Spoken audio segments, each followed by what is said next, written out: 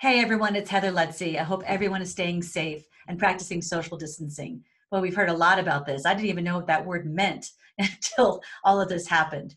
But in the time of social distancing, I think it's a great time to really sit back and take a look at how seriously have you treated your online marketing strategy. I've set up a series of free webinars called Rubber Meets the Road. And we're going to do four webinars, free of course, that talk about small push the buttons things that'll make a big difference on your website. The first one is going to be how do I change my search results? I go in there and tweak that so it looks like the best it can be. That's webinar number one. Webinar number two is going to be about keywords. How can I figure out what are the best keyword phrases that are convert now? So I don't want you spending a minute creating content that no one's going to see.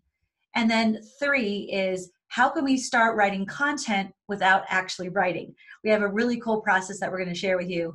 And then finally, how do you work your social media? How do you make sure that you create one piece of content and then you share it over multiple social sites to maintain your sanity as well as make that connection and make it social and fun.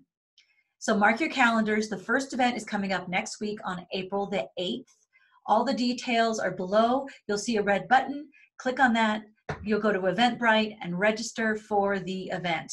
I am so excited to bring you these push the buttons webinars where we're going to make real changes to your website that's going to deliver real results for your business. We'll see you next week, and I look forward to having you on the entire Rubber Meets the Road webinar series.